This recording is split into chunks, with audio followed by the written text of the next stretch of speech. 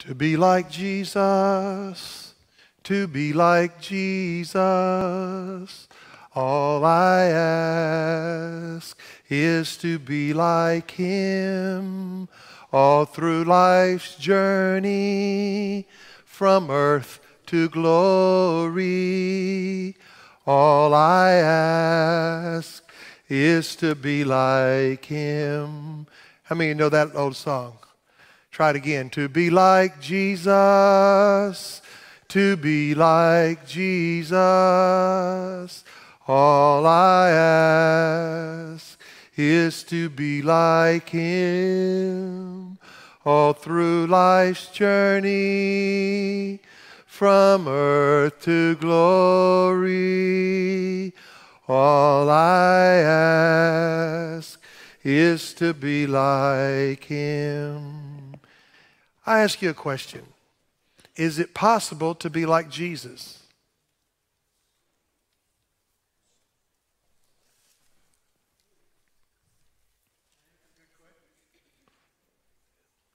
Is it possible to be like Jesus?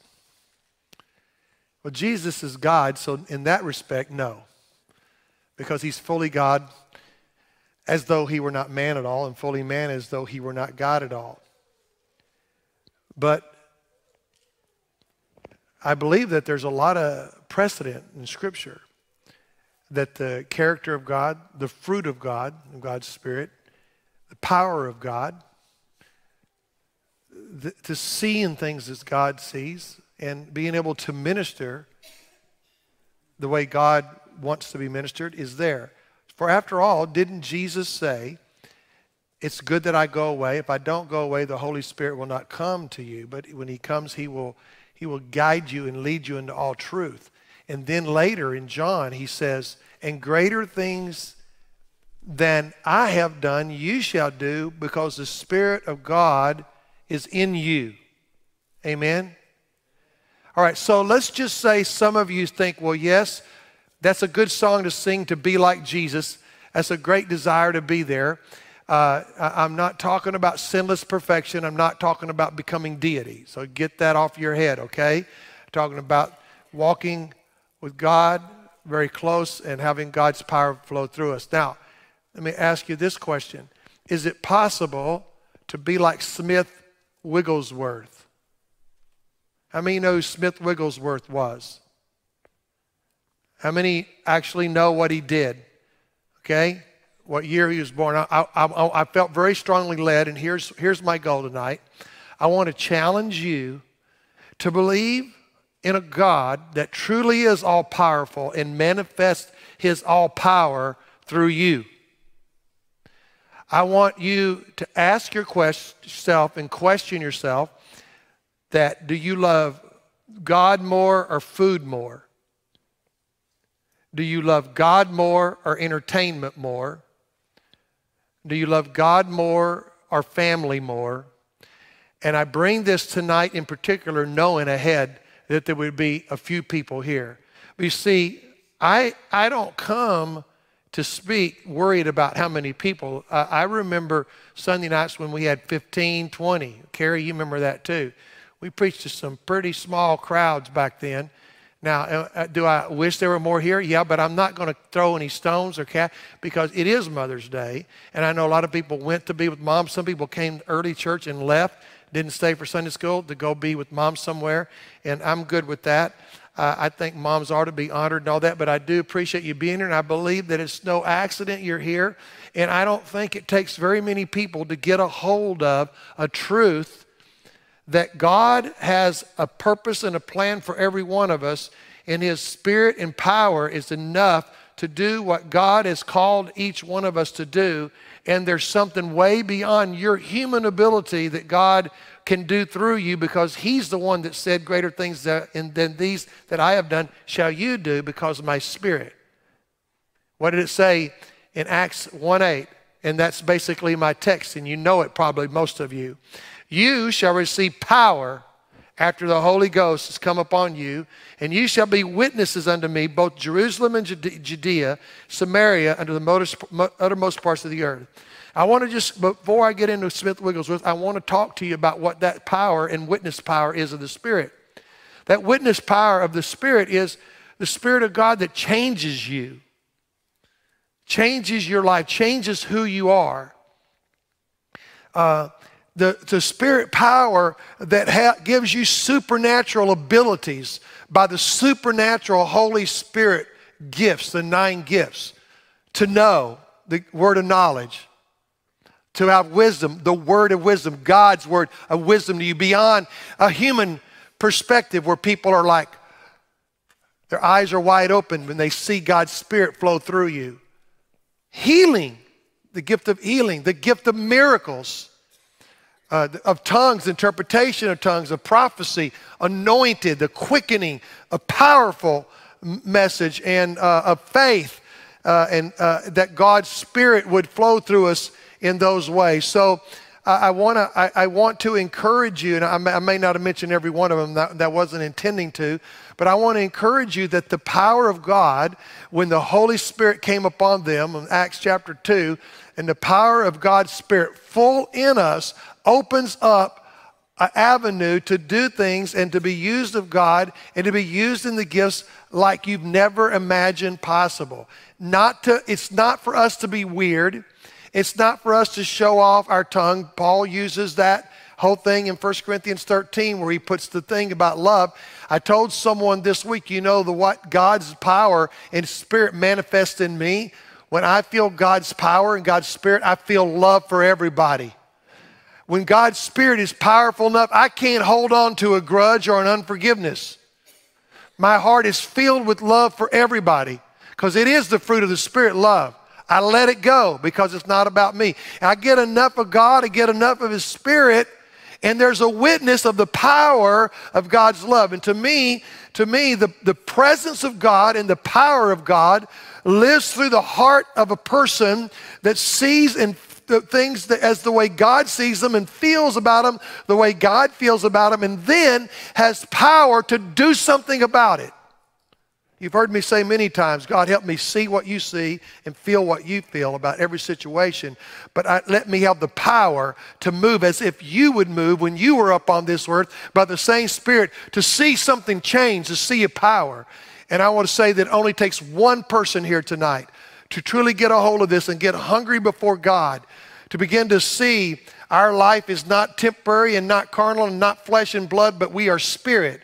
For we're made after God's image, and God is spirit, and uh, we worship Him in spirit and in truth, and we are spirit.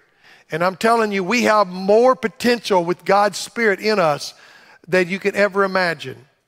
See, we're born again. Born again means we have the Holy Spirit, the Spirit. We're baptized. We, I talked about it a couple weeks ago on Sunday night into the, the body of Christ by the Spirit of God. Not, not, not the Acts 2 baptism that talks about. I'm talking about salvation when the Spirit comes and baptizes you into the body of Christ. In other words, when you get saved, the Holy Spirit, the Spirit of God, the life of Christ comes into you. It's powerful. It's powerful. There is a change in your life. The late uh, Adrian Rogers says if your religion doesn't change you, you need to change your religion. And I believe it. And Smith Wigglesworth is someone that I've read off and on, and the Holy Spirit brought to my mind this week. And so I thought, how do I tell all the things he did? How can I do this? So I'm going to start off with an autobiography that I found. And then I'm going to give you his own testimonies about things that happened from his own message that he shared. And so I'm going to share a little piece of Smith Wigglesworth, hoping and believing that God has given me this to do to let you understand that probably we're living powerless. We know about the power, we have the belief in the doctrines of all of it and of the Spirit, but do we walk in the power? Jesus rebuked his disciples, and I'm not meaning to rebuke you because I, I, don't consider myself Jesus, but he said, Oh, ye little faith. And he says, This comes out by fasting and prayer. And it has a, a heart of a hunger for God, something that God does in our heart that we're willing to pay a price.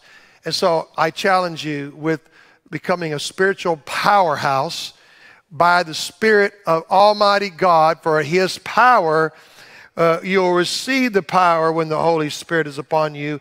And listen, I'm not talking about, listen, you, you can have that initial experience, and a lot of you have, have, have uh, had had an experience that they had in Acts 2 where you prayed in a prayer language, you have a prayer language. But you know as well as I know that the quickening and the anointing and the moment of the power, we have to walk in a discipline.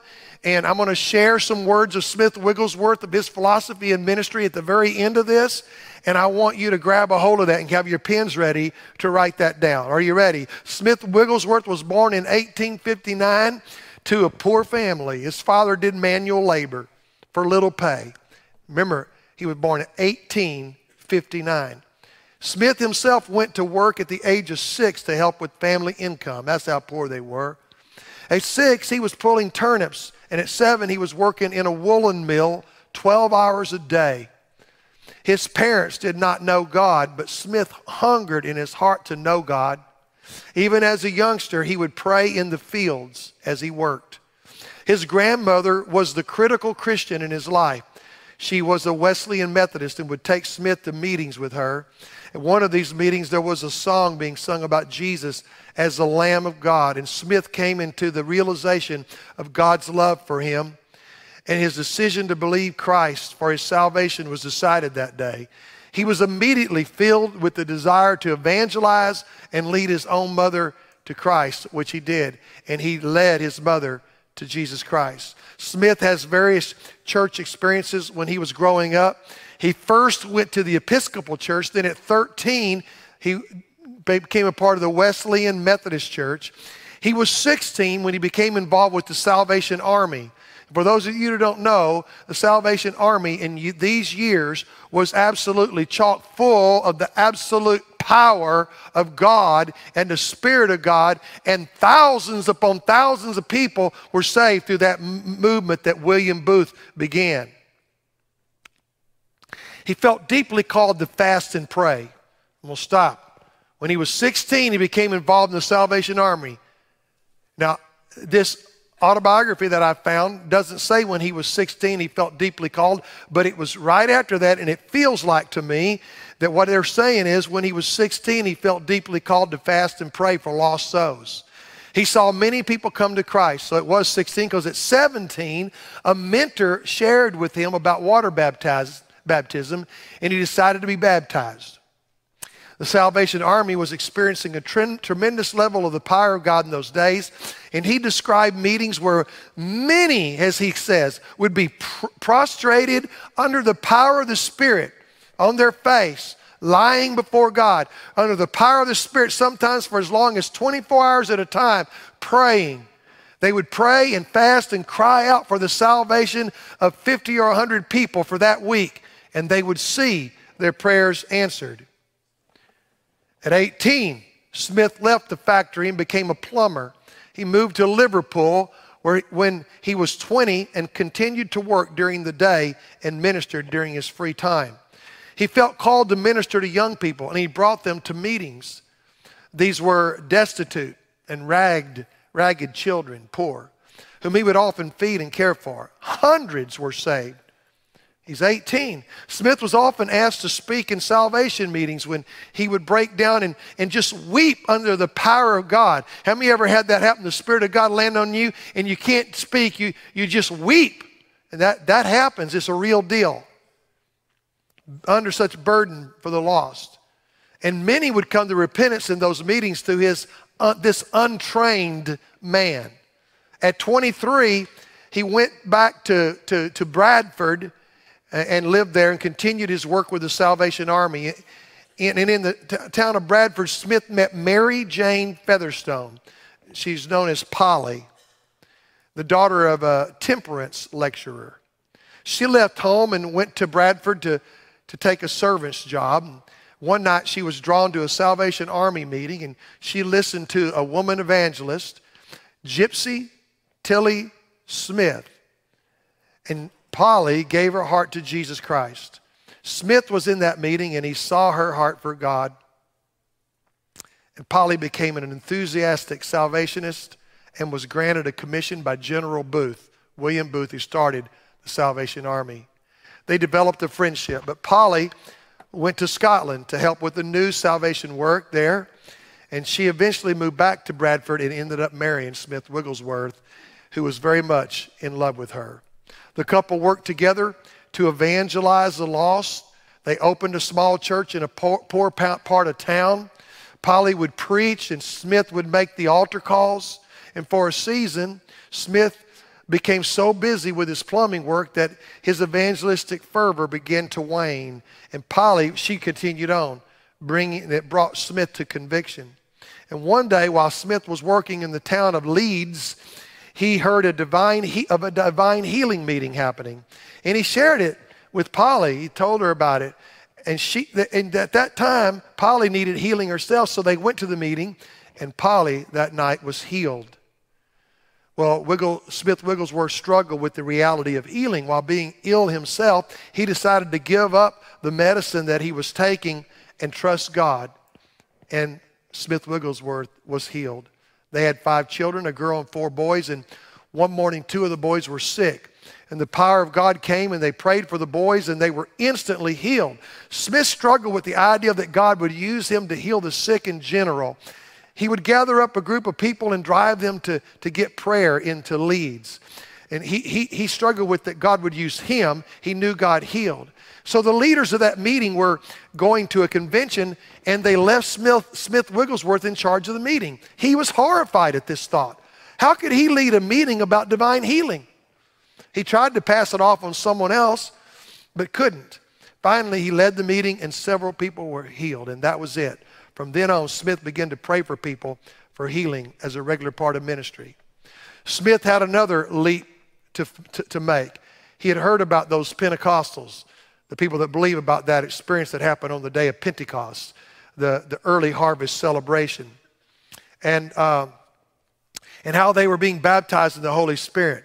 So he went to the meetings. He was so hungry for God, he, he created a disturbance, and church members asked him to stop.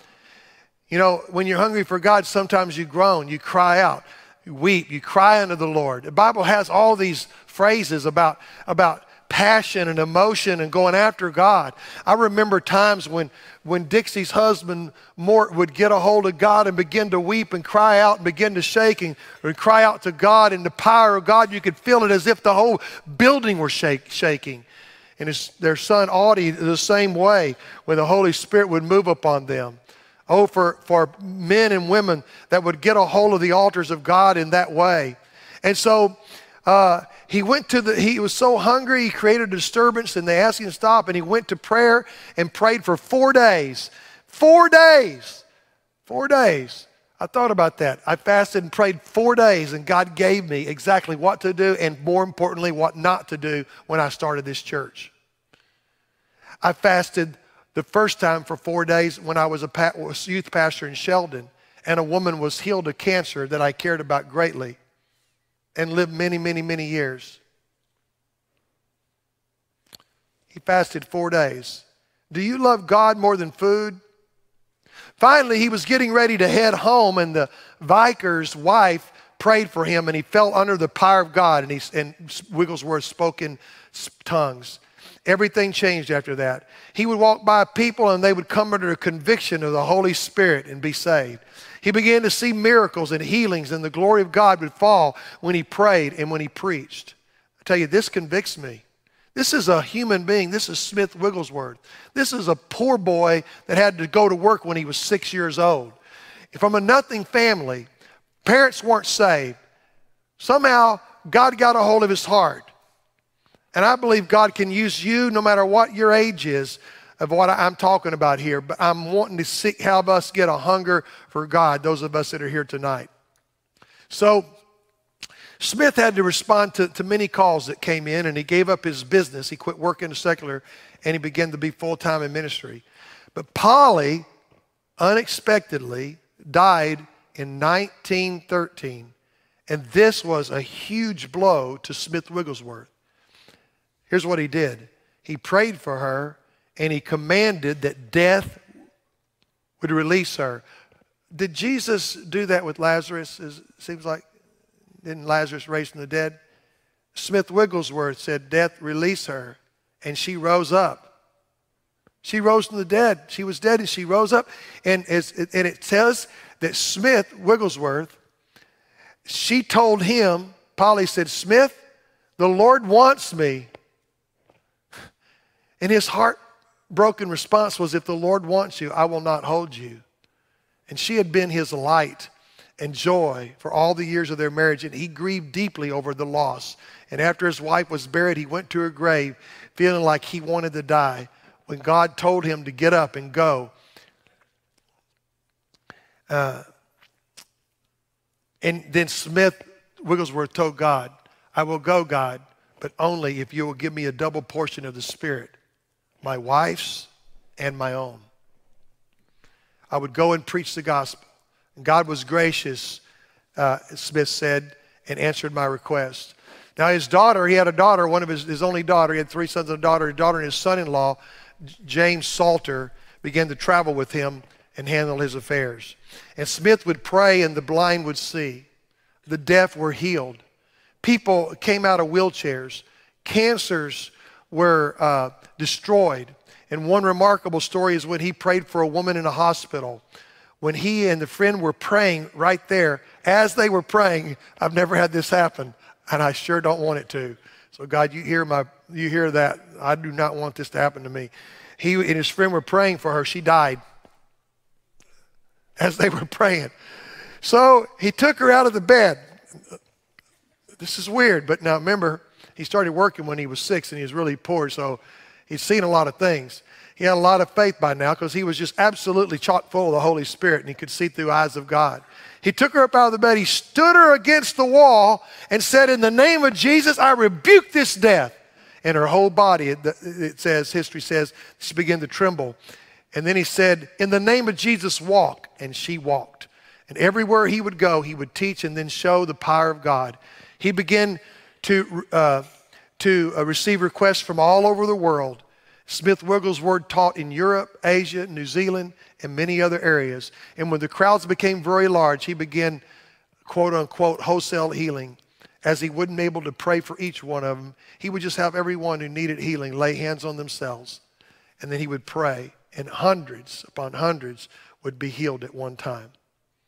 Over Smith's ministry, it was confirmed that 14 people were, were raised from the dead, and thousands were saved and healed and impacted whole continents for Christ. Smith died March 12, 1947. He died while he was at a funeral of a dear friend. I, I, that's another thing I've never had happen that I don't want to happen. I do not want someone to die while I'm doing a funeral, nor do I want to die while I'm at a funeral. God, hear me. So uh, it was Wilf Richardson. His ministry was based on four principles, and here they are. These are some things you might want to write down. First, read the Word of God.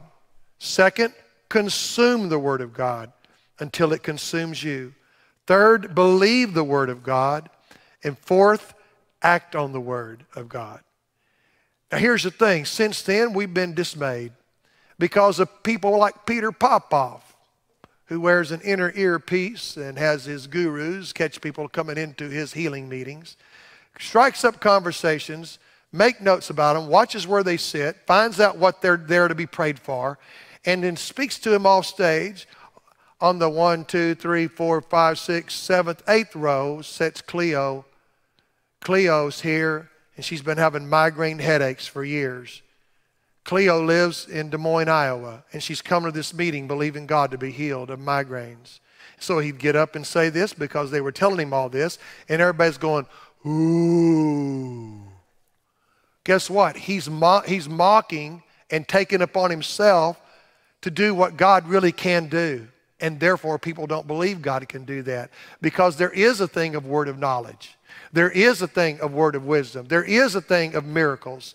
And God can reveal things to you because that's a power when you witness to be able to have the ability to know something about someone. Otherwise, you wouldn't know, and you begin to speak to them. And Jesus did at the woman at the well when he said, How many husbands you had, and that you're, the man you're with now, you're not married to. She go, Whoa. But Jesus didn't have a little thing in his ear, and there was nobody checking out what was going on at the, at the gate of the well. Are you with me? Because it's real. And I'm not going to go any more other than Peter Popoff because uh, the rest of it uh, I might offend someone. But Peter was actually caught and a bit a big a big deal on it and they recorded these people they watched him they were there in his meetings and he was put out of business for a little while but he's back in business now he's in he was in california last i heard at least the last i heard he's in business peter stop it if you're still doing it please don't do that anymore god be with you i don't i, I don't want to say we're all imperfect and I, may god have mercy on all of us but may you not do that because god really can do these things so uh, that's, that's uh, Smith Wigglesworth. Now, just share a couple more things. Smith talks about, uh, he has an article that he wrote on, how, on this very thing of power. You shall receive power. And he says, the di- disciples had been asking, this is Acts 1, the Lord, uh, when would he restore the kingdom of God again to Israel? And Christ told him that was not for them to know the times and the seasons which the Father had put in his own power, but he promised them, as we just read in Acts 1 8, they'd receive the Holy Ghost and they would receive power to be witnesses for him in all the world. To receive the Holy Ghost is to receive power with God and power with men. This is Wigglesworth's words. There is a power of God and there's a power which is of Satan. And when the Holy Spirit fell in the early days, a number of spiritists would come to the meetings. And they thought we had received something like they had, and they were coming to have a good time. What does that sound like? It sounds like the guy that wanted to buy the power uh, uh, in, in, in Acts, wanted to buy when, he, when people lay hands and they would speak in other tongues. And they would come to the meetings and they thought they'd received something that they had. They were coming to have a good time. They filled the two front rows of the mission that we were in, where Wigglesworth says. And when the power of God fell, these imitators began their shaking and muttering under the power of the devil. The Spirit of the Lord came mightily upon me, and I cried, Now, you devils, clear out! And they went out. I followed them right into the street, and they turned around and began cursing me. There was power from below, but it's no match for the power of the Holy Ghost, and soon they had their retreat. One of the things that blocks power is the fake power. People that are not of God, people that are of the flesh, people that want to put on shows as opposed to seek God and crucify the flesh and fast and pray and hunger for God and sincerely go after God with all of their hearts in private, filling themselves with the Word, consuming the Word until it consumed them, believing that Word and acting on that Word. That's what Wigglesworth said. So he goes on, the Lord wants all people, saved to receive the power from on high, the power to witness, the power to act, the power to live, the power to show forth the divine manifestation of God within. The power of God will take you out of your own plans and put you into the plans of God. You will be unmantled, divested of that which is purely of yourself, and put in a divine order. These are Smith, Smith, Smith Wigglesworth words.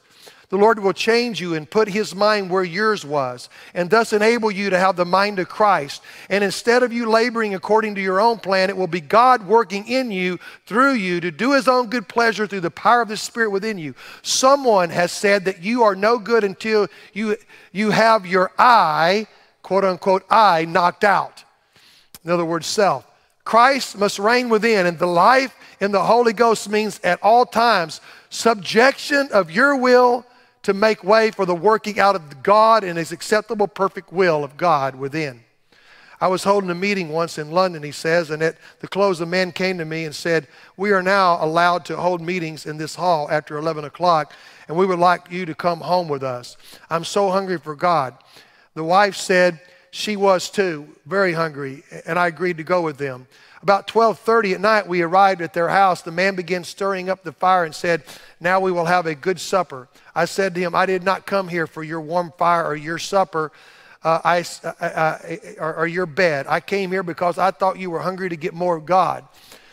We got down to pray, and about 3:30, the Lord baptized the wife with the Holy Spirit. She spoke in tongues as the Spirit gave utterance. At about five o'clock, I spoke to the husband and asked how he was getting along. He replied, God has broken my iron, stubborn will. Now, he had not received uh, the, the, the, spirit language of the, of the baptism, and, but God wrought a mighty work within him. The following day at his business, everyone could tell a great change had happened to this man. Before he had been walking a walking terror. The men who labored for him had looked upon him as a regular devil because of the way he acted. But coming in contact with the power of God that night completely changed that man. Before this, he had made a religious profession, but he had never truly entered into the experience of new birth until that night. And when the power of God surged so mightily through his home, he found it. A short while afterwards, he said, I, I found that. A short while afterwards, I went to this man's home, and his two sons ran to me and kissed me, saying, This is Wigglesworth. There's his sons ran to him and kissed him and said, We have a new father. See, previous to these to this, these boys had often said to their mother, Mother, we cannot stand it in the home any longer. We have to leave. But the Lord changed that, that whole situation that night as we prayed together. And on the second visit, the Lord baptized this man in the Holy Spirit. The Holy Spirit will reveal false positions and pull down the mask of any refuge of lies and clean up and remove false conditions. When the Holy Spirit came in, that man's house and business and himself were entirely changed.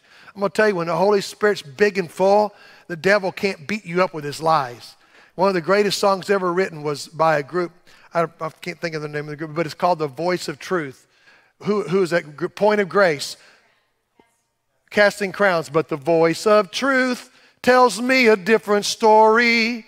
That is a great song because that's what the devil does. His chief tool from the very beginning is to lie, tell you, you can't do this. God won't move through you. There will be no miracle. And he'll point to anything and everything that's, that's not right. Listen, we're not called to look back and go, there are times when someone dies. Like, did Smith explain why his wife died? And she said, she said when he, you know, God wants me. Did Smith explain it? No. Smith went on and believed God. And I think we have to believe God because so many times we talk about healing, we think about, but, but, but I know this, and we're conditioned to brace ourselves and pray pitifully and, and unexpectedly. But God is a great God that can do all things. So Wigglesworth goes on. He says, when the Holy Spirit comes in, He comes to empower you to be an effective witness. At, at one time, we were holding some special meetings, he says, and I was out distributing, uh, uh, he calls them bills, but they were flyers. I went into a shoemaker's store and there was a man with a green shade over his eyes and also a cloth. My heart looked up to the Lord and I had the witness within me that he was ready to change any condition in his heart. The man was crying, Oh, oh, oh. I asked, What's the trouble? He said he was suffering from great inflammation and just burning. I said, I rebuke this condition in Jesus' name. Oh, what a powerful name, Jesus. He said, I rebuke it. I'm just thinking of that song. Instantly, the Lord healed him. He took off the shade and cloth and said, Look, it's all gone. Look.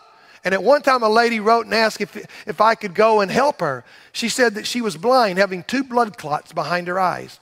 When I reached the house, they brought the blind woman to me.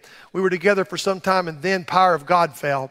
Rushing to the window, she exclaimed, I can see! I can see! Oh, I can see! The blood is gone. I can see. She then inquired about receiving the Holy Spirit and confessed that for 10 years she had been fighting our position on the Holy Spirit power. She said, I could not bear these tongues, but God has settled the whole thing today. I know I want that baptism of the Holy Ghost. And the Lord graciously baptized her in the Spirit. The Holy Spirit will come when a man is cleansed. There must be a purging of the old life. You know, that, that waiting upon the Lord and seeking God and taking time is a part of that. And he tells us this in this uh, little devotion. And he said, I never saw anyone baptized who was not clean within. I remember being in a meeting at one time where there was a man seeking the baptism, and he looked like he was in trouble. He was very restless. And finally, he said to me, I, I, I will have to go. I said, What's up? He said, God is unveiling something to me. He said, I feel so unworthy. I said, Repent of everything that's wrong. He continued to tarry, and the Lord continued to search his heart. In these times of waiting on God, uh, here's where it says, and he continued to tarry, and the Lord continued to search his heart. And, and Wigglesworth says, these times of waiting on God for the fullness of the Spirit are times when he searches the heart and tries to tries the reins. He tries us. Later, the man said to me, I have a hard thing to do, the hardest thing I've ever had to do. I said to him, Tell the Lord you will do it and never mind the consequences. So he agreed, and the next morning he took a ride of 30 miles to go with a bag of gold to a certain party with whom he dealt. This man had a hundred of, uh, uh, uh, had a hundred of cattle and bought all his feed at a certain place. He always paid his accounts on certain day, but one day he missed. He always was so punctual in paying his accounts that when the people of his uh, form went over their books, they thought they must have made a mistake in not crediting this man with the money. So they sent him a receipt, assuming he had paid, because he always paid every time. But the man never intended not to pay the account, but if you defer to do a right thing, the devil will see that you never do it.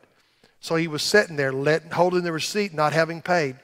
But when the man was seeking the Lord that night, the Lord dealt with him on this point, and he had to go and straighten the thing the next morning.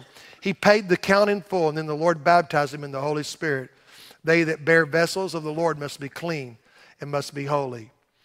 He, he, he tells of, of many other things that went on there, and I'm going to stop because there's so many more things. And there's a book about Smith Wigglesworth, there's a, there's a devotion about Smith, Smith Wigglesworth, and I urge you to read his writings because this man was real and it's documented. This is not a fake thing, and there's no, no dirt in this man's background and history.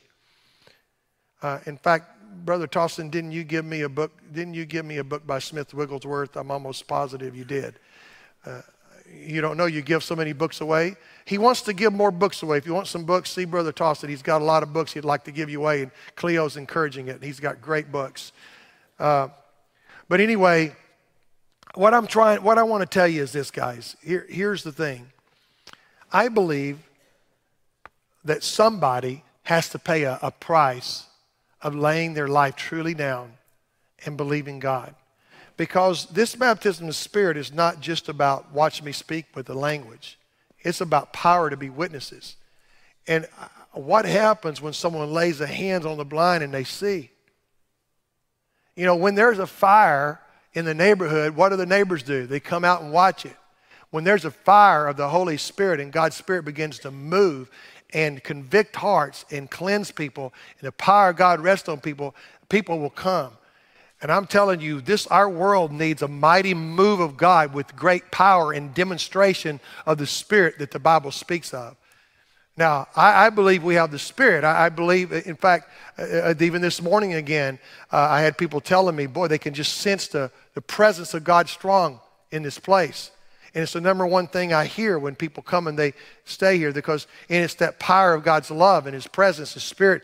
But let me tell you, there is a power that is a power that is able to do anything to convince anybody whatever is needed so that souls will be saved because that's the end result. If we want the power to show how powerful we are and do little magic tricks on the side, we got a Pentecostal sideshow.